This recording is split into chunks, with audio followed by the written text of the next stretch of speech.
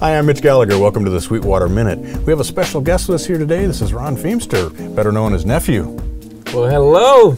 How y'all doing? It's great to see you. Thanks for coming in today. It's good to be seen. It's Yeah, good to be here. So you're here on behalf of Apogee. Yes. You guys have some cool stuff going in the studio that I want to talk a little bit about. But uh, man, I have to tell you, I was kind of looking back through your career and your uh, your progress through the industry, and you've, you've just had an amazing couple of decades here, right? Of, of really great success.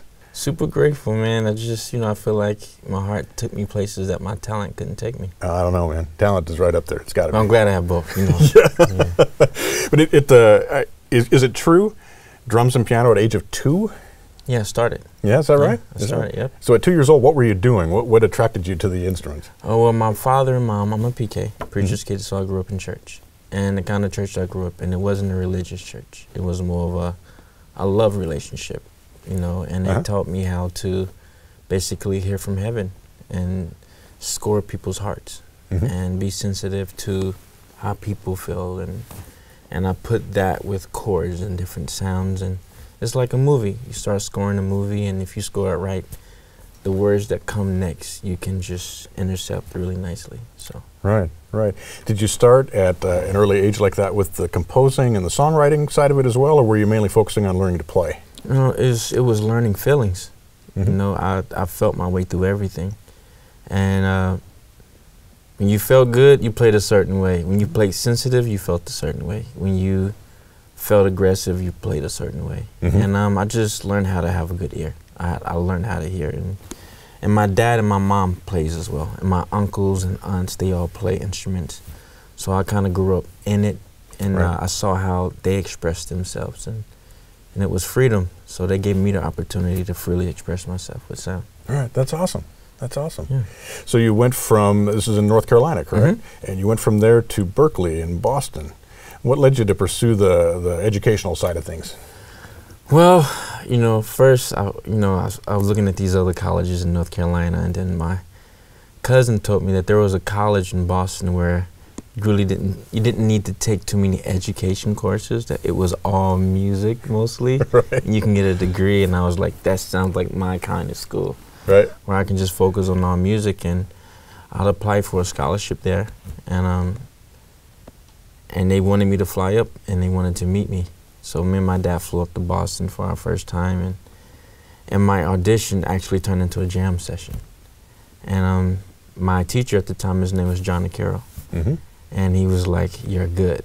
And I remember walking outside those doors, and my dad and his eyes, we kind of both knew what it was. Right.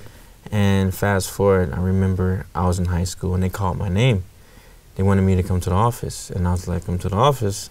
So as I was coming down the hallway, I saw both of my parents with the piece of paper that said I've been accepted, and so yeah. Oh, awesome. So Berklee was a pretty amazing experience. Right, right. And what did you take away from that experience? How did how did that build on what you had uh, learned at home and, and in church?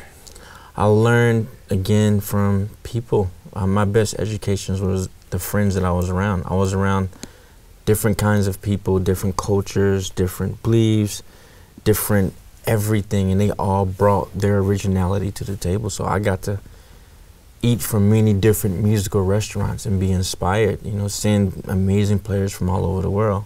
So I'm, I learned more outside of the classroom, more than I did in the classroom. My apologies, Berklee. You know. Uh, but when you when you're around all of that talent and different kinds of people, it's just it's addicting. It's a it's attractive. You know, all those different flavors and colors and Right. yeah. Right. And uh, if I understand the story correctly, that led to your first break, which was writing a song in your dorm room that somehow made its way to, to Will Smith and Men in Black 2, right? Man, you know your stuff. Well, you you know, know, your we like to know what we're talking about. uh, it was, it's, it was a cool story. It was the moment where I actually didn't know what a producer was going to college. I thought the biggest thing you could be in music at that time was just, you know, playing behind some Christian band or some gospel band. But, you know, I've always, since maybe seven or eight, I was always making beats on my uncle's keyboards because they had like the latest and greatest keyboards. hmm So one day, this guy named Jamie walked into my dorm room, 150 Mass Ave, and he said, "What do I want to do with the next five years of my life?" And I thought about it, because I wanted to be a film composer. That's like my heart. But when I first got to Berklee, those computer labs were so intimidating. So I decided to take up the class of learning from my friends. And uh, joke, you know, I joke. Right. Anyway, uh, he walked in my room and I was like, he's like, what do I like doing best? I was like, I like putting things together. And he's like, that's called producing. He's like, people actually have careers. I was like, they do?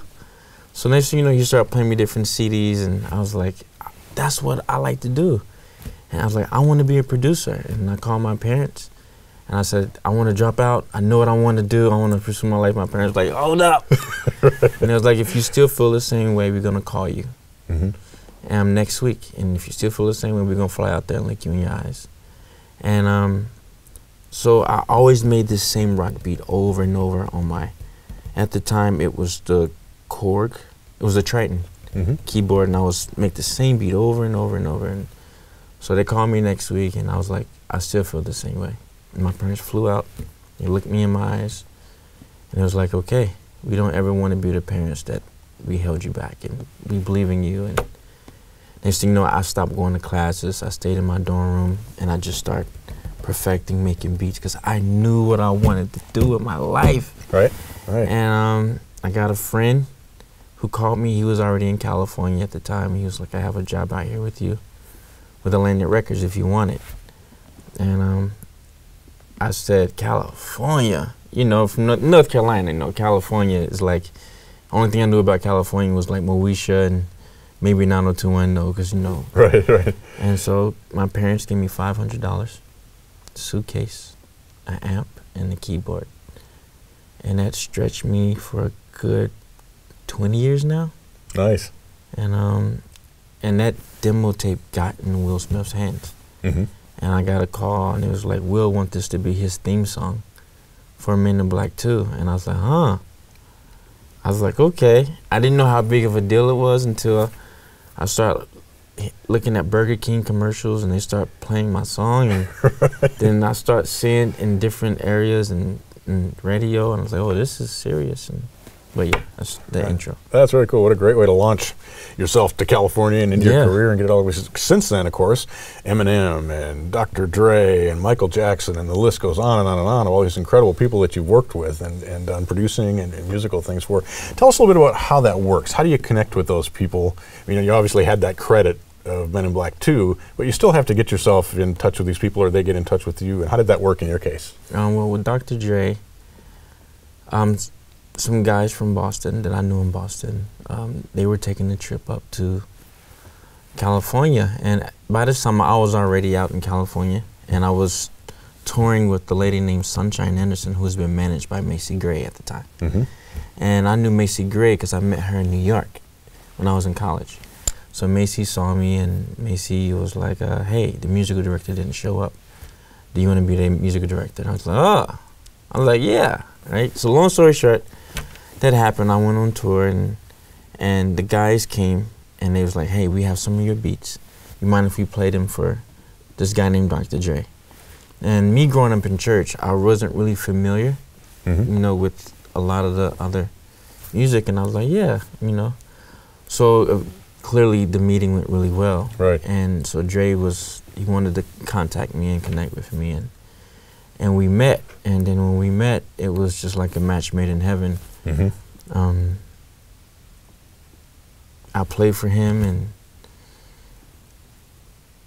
and next thing you know, I'm on a plane to I think Reno, Nevada, and Eminem is right here, Dr. Dre is right here, and everybody's looking at me, and I'm like, man, what is happening right now? And, and this guy named Mel-Man comes out the back, and he was like, hey, if you don't play, somebody else will. Mm. I was like, oh. So I went, and that's when the song Let's Get Down to Business was born. And then from there, our relationship just, just soared. And till today, Dre is still a good friend, a mentor. All right. More like a bigger brother to me. That's awesome. You know, yeah. That's awesome. So when you when you have the idea for for the beats and the productions that you're working on, does it come to you as a full blown thing, or do you discover a small part and build on it from there, or how does the whole process work? It's both. Is uh, sometimes I, I see the entire thing, and sometimes it's being vulnerable enough to trust the moment. hmm to just go and know that the moment will guide you. Music will guide you. That's a very sensitive, very vulnerable moment to be in to where you just know you're on the right path and if you keep going you're going to end up at the right place. Mhm. So sometimes those paths are really fun, but also when you're creating and then you just see the whole picture and having the tools around you to be able to accomplish what you need to accomplish. Mhm. So it's fun. It works all kind of ways. It's just depending on what situation you're in. Right. But it's just really being prepared to do both. hmm So you've done uh, production for albums uh, for uh, for artists, uh, and you've also done film uh, music, and you're working on Empire and Star Mhm. and TV productions Mhm. as well. Do each of those differ, or do you approach them in the same way? Um, it's the same way. It's all music. It's been able to, again, going back to when I was a little boy in church, Mm-hmm. is having the ability to hear. You know, melodies are ancient. They've been around since the beginning of time. And I believe if we're vulnerable to it, and if we're very honest, and we allow the music to come in, what I tell my friends and I, what I remind myself is, all you have to do is keep your instrument sharp. Mm-hmm. Because if you keep it sharp, the notes will choose you. And when the notes choose you, just be always available to play and release it. So when I get cues or when people send me, you know, ideas or briefs of what they want to do, I just allow myself to be a really great listener. Mm-hmm. And then through the years, you know, by you sharpening your tools and understanding intellect, you know, intellect and instinct are two valuable things. Intellect will show you, intellect will tell you to pick up the ball. Mm-hmm. Instinct will tell you when to shoot the ball. So it's through the years been able to really develop both of those. And instinct is trusting that invisible place. Right. So you mentioned that uh, artists will send you a brief, or, or someone will send you a brief, and then you work on it from there. When you hear something like that, how does the process work of knowing what works? You, you mentioned keeping your instrument sharp and being open, but is there a process that you say this is going to take this kind of a sound or this kind of a beat or whatever it's going to be? Hold my hand. How does this feel? It feels like we're shaking hands. How, Firm, does, firm how, grip. how does this feel? Uh, different, right? There's a different, different So- relationship there. So knowing what feels right. Mm-hmm. and then trusting experience. You know, when you have really different mentors, like Michael Jackson was my mentor, Dr. Dre, Babyface. You know, been able to sit with Michael and Barry Gibbs from the Gees, and the other really amazing mentors I had in my life. And you just learn throughout the years, and then something that you bring to the table is you, Mm-hmm. which is originality. But you learn, and you start to understand this feels right, Mm-hmm. and you start defining and perfecting that to where if it makes you feel a certain way inside, then you're headed down the right direction. If I'm playing, if I'm scoring you right now, if I have a piano, and if I hit a chord that doesn't match your emotion, I'm gonna see you change. Mm-hmm. And when I feel that, I know I need to get back, keep that. I need to stay connected. So that's how I kind of, with making music, I try my best to stay connected and stay emotionally attached to the brief, the person, the sound, and stay focused on the finish line. Right, right. So there's not so much a craft then to what you're doing. You're not approaching it as, okay, I've got the G7 and that's the five of the C and I need to go here. You're more looking at the way the whole progression is going to feel in the end. That's the intellect. Okay. You know, I think it's very important to know your notes. You Mhm. know, and it's not even re- really necessarily knowing how to read, but it's just knowing your way around your instrument, whether it's your voice, whether it's a guitar, a keyboard, or it's just knowing how to get around with your eyes closed. You know, so if I feel like the vocal she or he sounds better in B flat, I know like it's been amazing instance instance to where the vocalist may think it's too high for them, but sometimes I know it makes them reach for an emotion that provokes the lyric or song. So it's been able to detail an emotion, but like get get maximize the moment with an amazing emotion with sound. Right. Yeah, I sound like a, I sound like an alien, right? No, not at all. right? No, I, I think that's awesome. We That's so sensitive, y'all. We be so sensitive. you know. that's the art side of it, though, right? Yeah, That- you- that's, you have to have the it. artistic side of it. Right, right. That's awesome. So I mentioned that you're here on behalf of Apogee. Yes. And you guys have quite a project going in Studio A here at Sweetwater. Oh yeah. tell us a little bit about what's happening. So um, they said we were coming down here, and um, I was really excited because I, I feel like I already know you guys. Yeah. You know, I've bought things from Sweetwater, and it's the first time to where, you know, the people you deal with on the phone, they call you and follow up with you, and they send you candy. And I'm like, man, what kind of relationship is this? this is different. So I kind of, I love the vision, and I Mhm. like how I was being treated, and it makes it made getting equipment even more special. Nice. So I feel like I'm meeting. I was phone dating with you all all of this time. So now I get to meet you all in person. Right, right. Very And so coming down here, we want to do something really special. And we wanted to basically write a theme song about Sweetwater and how y'all made us feel. Okay. So what we're doing is we're writing an original song, and I'm I'm doing it with some really amazing people, and um, it's fun. And we also have some of you guys and ladies involved in making the song too. So we're kind of mixing it all up, and um, it's, it's fun. Right. Yeah. Doing awesome. something different. Yeah. So you're tracking it in Studio A, and uh, if I understand correctly, you have a couple of symphony systems with the new Dante card Oh yeah. that are all tied into Sweetwater's Pro Tools rig, and uh, using the mic preamps in the uh, the mic preamp cards Yeah. in the symphonies as well.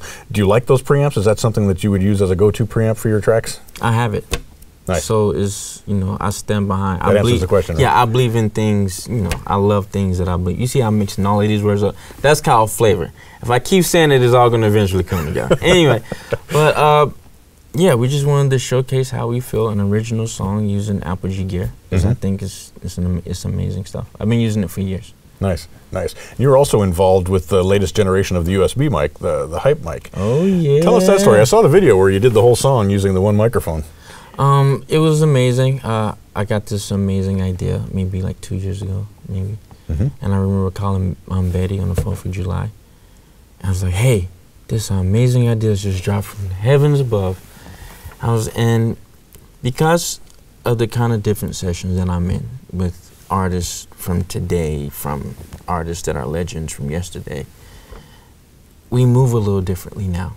And it's one of those moments to where, you know how you capture a moment, but the quality isn't as good as you want it to be. Mhm. So you got to try to relive doing that moment all over. So I said, Betty, wouldn't it be amazing to have the first of its kind, never been done before, USB mic that has a built-in analog adjustable compressor. So you get to get your cake and your pie too. Mm-hmm. And she was like, Yeah. so next thing you know, two years later, she built it. She was a genius. I was like, You built it. I was like, oh my gosh. And and now it has literally revolutionized the way I capture vocals, the way I capture sound. Now, you remember you remember those light pops that had, you know, the candy and they had the gum inside? Sure. It's like now I get to get that in a piece of gear. Nice. This is amazing built mic. It's like a million dollar sound that can fit in your pocket. And you get your candy and you get your gum at the same time. And Right. um, now is I take it everywhere and I can capture amazing high end vocals from anywhere. Final vocals. From you can use it podcasting, you can use it doing different interviews, you know, you can do it I've used as you've seen me miking live drums, Mhm. piano. So it's just nice, you know, and I'm I'm excited about it and That's really great. That's awesome Mm. too, and it's so cool that it comes from your idea and you're able to uh, to put it to work. I mean, not all of us have the chance to to really say, "Hey, let's do this," and have it come Mm. out uh, have it come out and be a great piece of gear. So yeah, I'm congratulations super, on yeah. I'm super grateful. yeah, that's Um, great. That's great. Have you seen it yet? I have not used it yet. I've seen it. Mm, looks so good, I'm. I'm interested to plug it in. Yeah, yeah. I think that's going to be great. Great.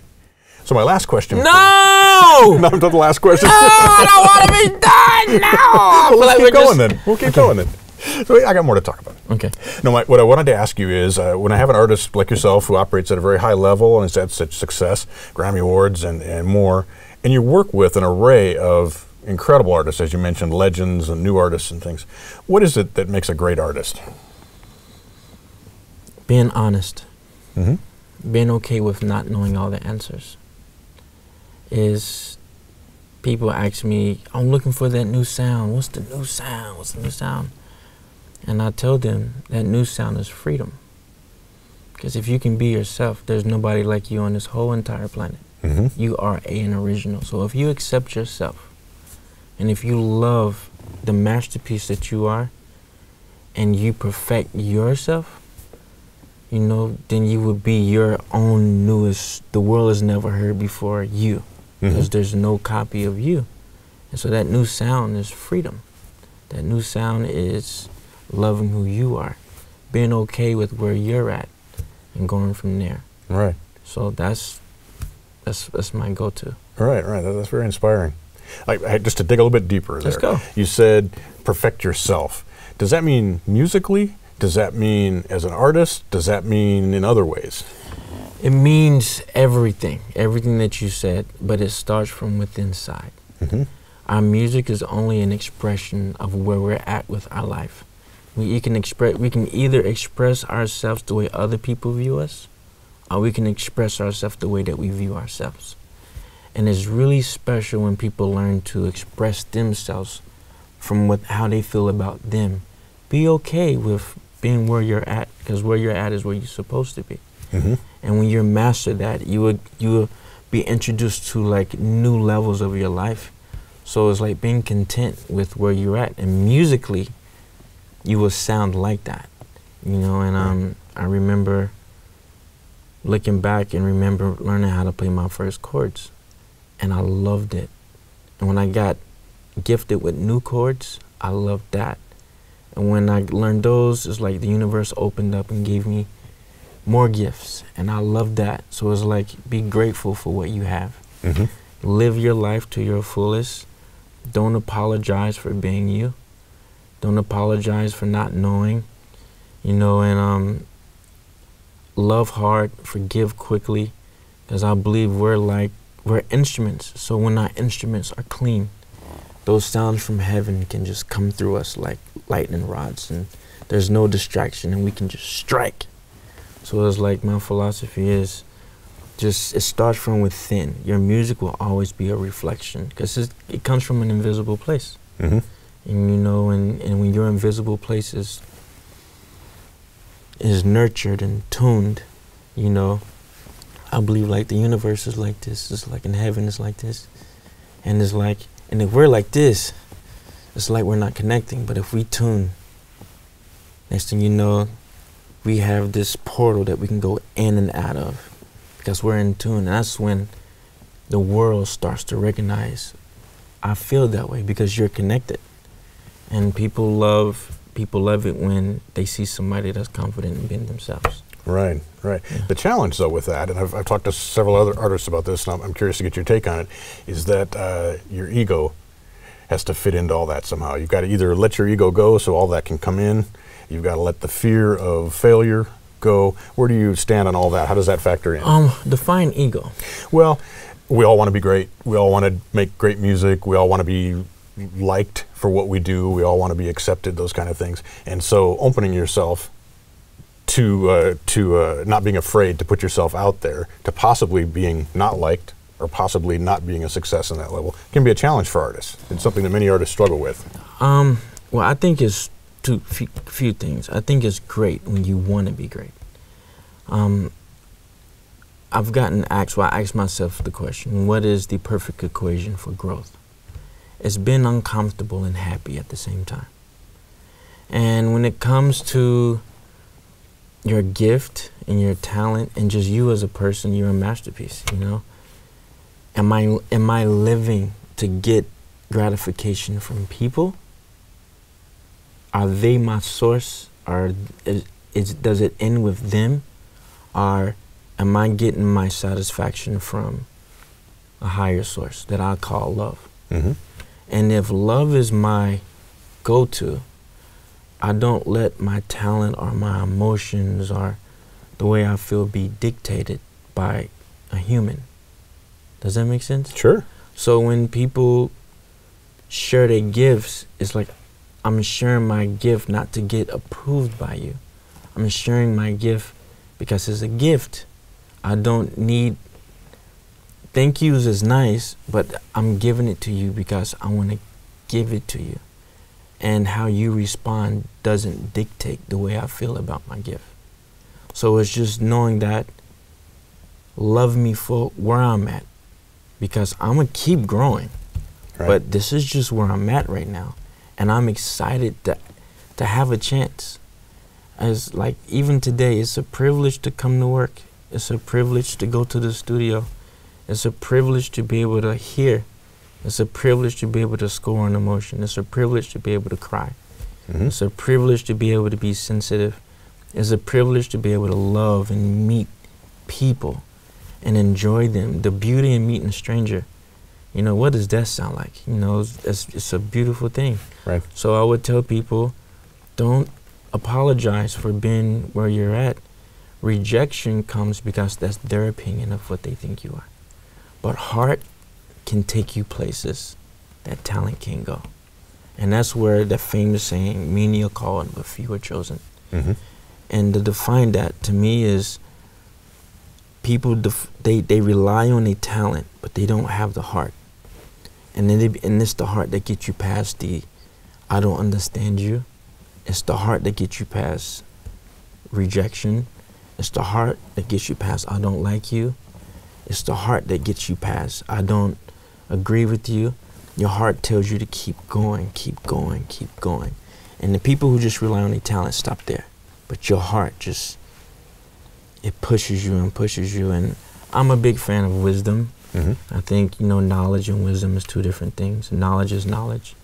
But I believe wisdom shows you how to apply the knowledge that you have to get results and then having the understanding to know how to do it again. Right. So with people, I would say it goes back to again loving who you are. You're amazing. You're beautiful. We're not perfect, but understanding that we have the chance to keep going every day. We have that gift of choice. Right. So that's where I'm at with music and life. Life, music is life. That's awesome. Yeah. That's awesome. Thanks so much for sharing all that wisdom with us. Those really are wise words. And I'm, Mm. I'm inspired. I'm going to go play guitar now. Yeah! So it's a successful interview. Appreciate it, man. Thank you. And uh, glad to have you here. I'm going to stop by tomorrow and check out the song and hear what you got going on for the Winning. Theme, the theme to Sweetwater, right? Winning. The theme to Sweetwater. Right on. Right on. Thanks again. I appreciate it. Thank Great you. to see you. Thank you for joining me for the Sweetwater Minute. I'm Mitch Gallagher.